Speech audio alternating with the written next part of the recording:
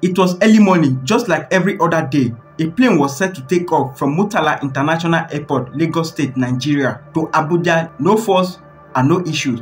Everything was perfect. 30 minutes before the plane arrived at its destination, a shocking announcement was made from the cockpit.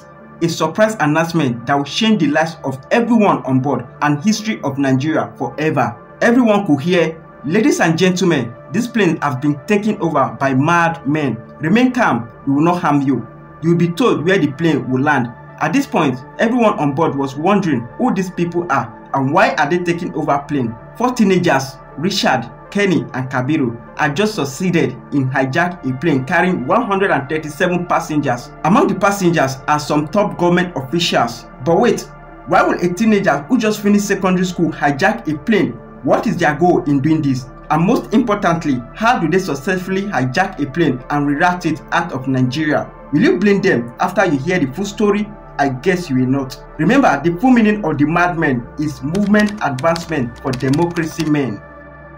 On the 12th of June 1993, Nigeria will hold a presidential election as part of the country's transition from a military rule to a civilian rule. The election was to be monitored by General Ibrahim Babangida, who was at the time the military head of state.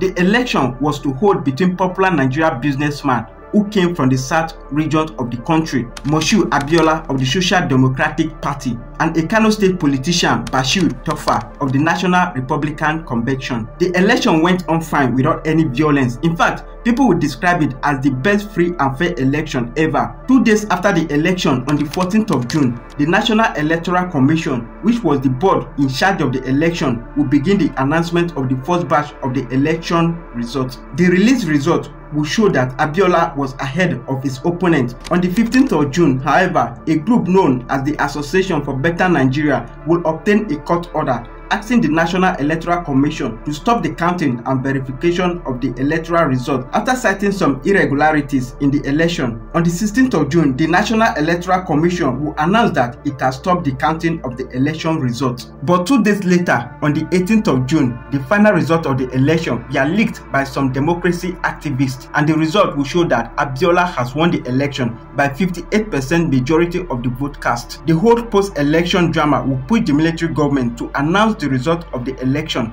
on the 24th of June 1993, General Ibrahim Babangida revealed that he announced the result of the election because there was cases of vote ban from different states in the country during the election. This decision to announce the result of the election will quickly generate crisis in most parts of the southwest region. The supporters of MK Abiola, who were mostly the Yorubas and Igbos, will go on a mass protest to show their dissatisfaction over Babangida's decision. Due to this pressure, the military government will hand over power to an intern government known as Ernest Shenikom on the 26th of August 1993. This whole election drama is the reason these teenagers took it upon themselves to hijack the government plane. Jerry Yusuf was the mastermind behind this hijack. For him, the plan was simple hijack a plane and reroute it to Germany. But he needed a team member because only him can carry out this plan. In the process of searching for team member, Jerry met Richard in a hotel where Richard was helping his father to carry out some work. Richard's father happened to be the manager of the hotel. Richard just finished secondary school and wanted to study aeronautic engineer, but he couldn't get the admission in Nigeria, so he applied for a school in Canada. While waiting for admission, Richard decided to join his father in managing the hotel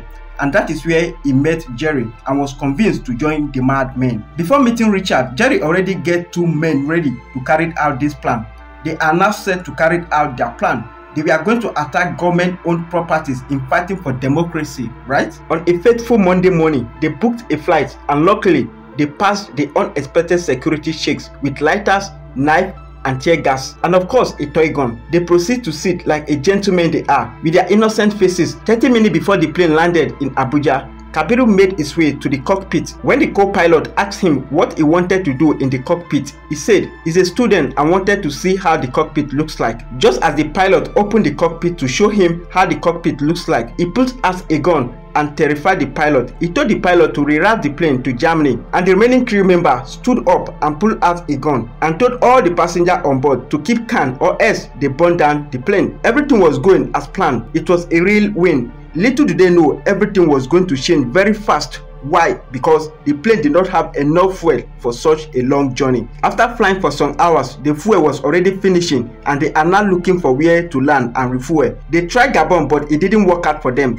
They tried Ghana but Ghana declined because they claimed that Nigeria airline owed them a landing fee. Luckily or unluckily for them, an airport in Miami allowed them to land. Before they arrived in Miami, they had made their demands known calling on the Nigeria government to overturn the announcement of the June 12 election and swear in MK Abiola as the winner of the election. They let go of the civilian passenger and head on to the Nigeria top government official on the plane. They gave the government 72 hours to meet their demand or they will set the plane ablaze. But at the process of allowing the civilians to go, they were arrested by the police because everything was on the news already.